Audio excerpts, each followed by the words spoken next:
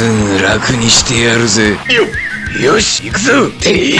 沈めくたばれよよし。せい甘い。とえせいや。くらえせいや。落ちなもらった。せい。遊ぼうか